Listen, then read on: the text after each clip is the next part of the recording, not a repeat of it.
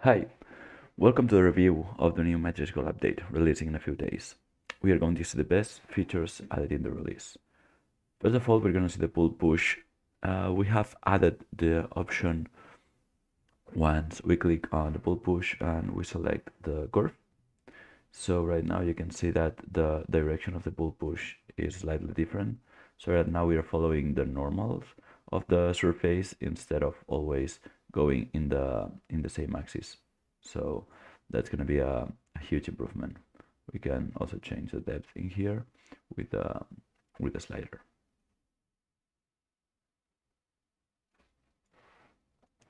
Okay we have also added in the manufacturing tab two new tools that we already had but we made dynamic.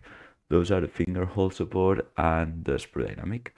We also kept the, the old ones in there so let's start with a finger hole support. So once clicking here, it will automatically appear in the dynamic command. So we don't have to go uh, if we don't want to um, with the with the command bar. So we can use the interface or directly move all the points in there in, in the viewport. So I can do something like that, add a new point, and create all the fingers that I want and I need. And right now it's a dynamic command. So if I validate that, it will keep in there so I can anytime edit again okay, and make the, the modifications that I that I want to do. So huge improvement in here. Also, we have the sprue dynamic. So more or less same functionality that we had before, but with the interface and the option to, to keep editing. So I'm going to click the ring that I have in here. There we go. Now we have the entire interface in here. So we can change the, the base style and anything that we could change before. Okay, so the offset, anything as and as before after validating it will keep uh, as a dynamic command. So anytime I can come back, I can edit and modify anything that that I want. Okay, right now let's go to the rendering tab. So in here we added uh, a new uh, materials. So I'm gonna go to Render Studio and in here we added two new categories these are render met metals and render gems.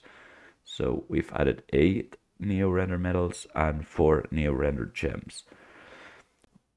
What's the difference, the biggest difference um, with these materials compared to the old gems and the old metals?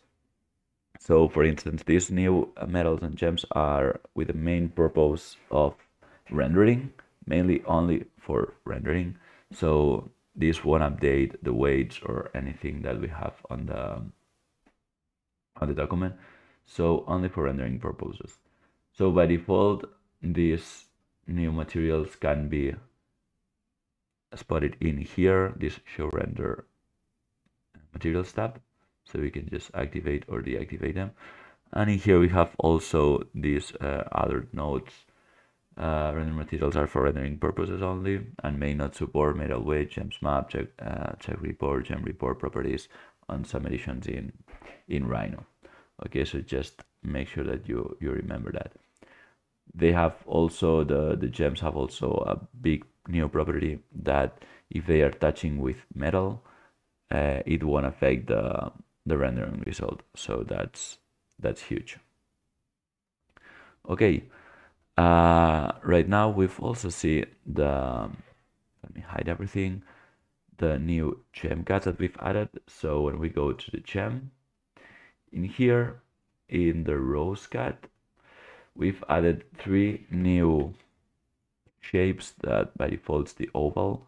We've added the oval, the round flat, and also the round peak. And any of them are working with our uh, usual commands that needs uh, gem as an input, for instance, the bezel or the head.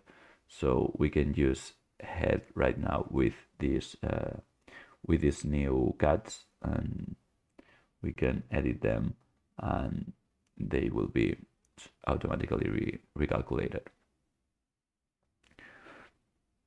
Okay, so that's it. That's uh, the review of the new release notes that we will see very, very soon on the new MatrixGold update. Thank you.